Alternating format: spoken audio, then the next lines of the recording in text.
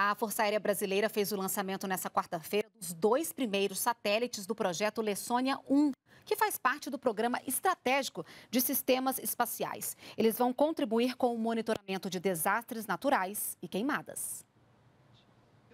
Os satélites Carcará 1 e Carcará 2, lançados pela Força Aérea Brasileira, vão gerar imagens de alta resolução e ajudar no combate ao tráfico de drogas e à mineração ilegal no país.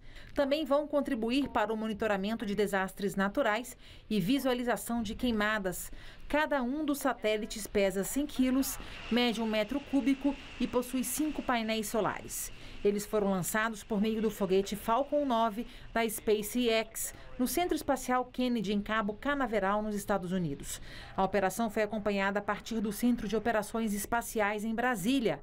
Por meio das redes sociais, o ministro das Comunicações, Fábio Faria, disse que os dois satélites serão úteis para diversas aplicações em prol da segurança e do desenvolvimento do país.